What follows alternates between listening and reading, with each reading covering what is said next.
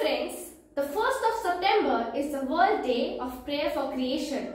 Don't you think it is a wonderful opportunity to join together and pray for the well-being of our Mother Earth and all its inhabitants?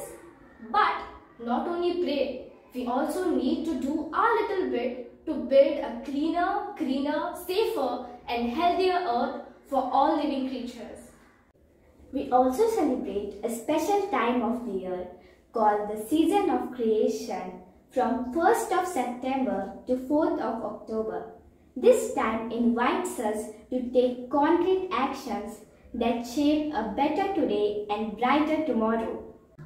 What better way to celebrate the season of creation by nurturing new life and planting a tree? We can mark this season of creation with a commitment to save water. Season of creation, we can make a conscious choice to switch off the lights and fans when not in use. Gifting a plant is another amazing way of celebrating the season of creation. Let's all join together and pledge to protect trees.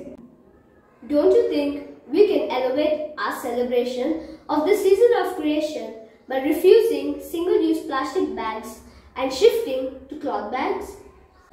We can celebrate the season of creation by shifting to eco-friendly products. We can honor the spirit of the season of creation by unplugging the electronic gadgets when not in use. Remember, small steps lead to big results. The theme for this year is to hope and act with creation.